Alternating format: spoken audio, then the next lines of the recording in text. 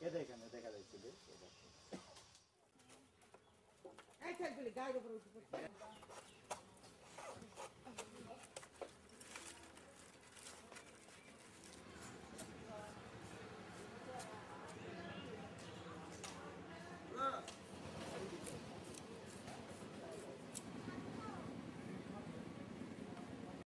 সরকার প্লাস্টিকের ক্যারেট দেশে আমদানি করে আমাদের খুবই অবস্থা খারাপ। বাঁশ কাঠ কিনতে যাচ্ছে তিনশো টাকা চারশো টাকা। ঝুড়ি বেচা কেনা নেই তো কি করে বাঁশ কিনে কাটতে তিনশো টাকা? পিছিয়ে পড়া জনগোষ্ঠী যারা রয়েছে আমাদের ভবিষ্যতে পরিকল্পনা রয়েছে এডিবি এবং উপজেলা পরিষদের তহবিল থেকে এবং আমাদের এলজিএসপি প্রজেক্টের মাধ্যমে আমরা এই সকল জনগোষ্ঠীর জন্য উপযোগী যে সকল প্রশিক্ষণ আমরা গ্রহণ করতে পারব সেই সকল প্রশিক্ষণের ব্যবস্থা আমরা গ্রহণ করব।